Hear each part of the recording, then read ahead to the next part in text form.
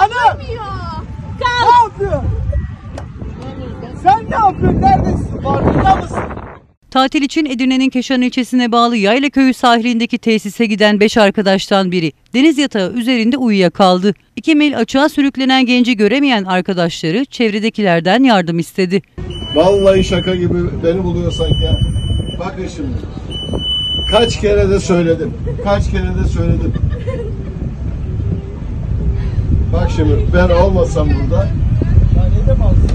insanlar da zannedecek ki yapmacık video çekiyoruz. Hep bana denk geliyor.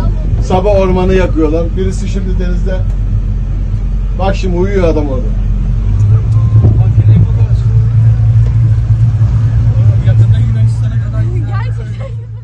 Tesis işletmecisi Mustafa Altunhan ve yakınları tekneyle denize açılarak kıyıdan yaklaşık 2 mil açıkta deniz yatağının üzerinde uyumakta olan tatilciye ulaştı. Deniz yatağında uyumaya devam eden kişi yakınlarının kendisine seslenmesi üzerine zorlukla uyandırıldı.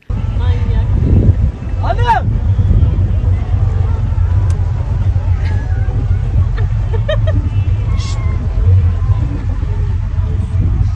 Hanım! Hanım! Ne yapıyorsun? Sen ne yapıyorsun? Neredesin? Farkında mısın? Tekneye alınan tatilci daha sonra kıyıya götürüldü. Açığa sürüklenme ve kurtarılma anı ise cep telefonu kamerasıyla görüntülendi.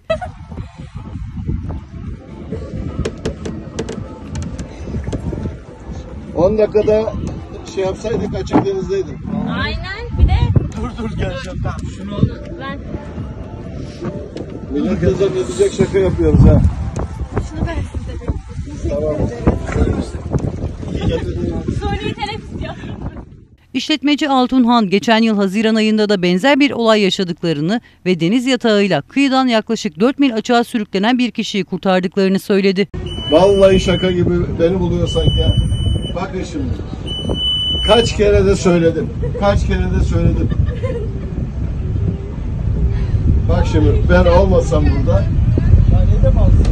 insanlar da zannedecek ki yapmacık video çekiyoruz. Hep bana denk geliyor. Sabah ormanı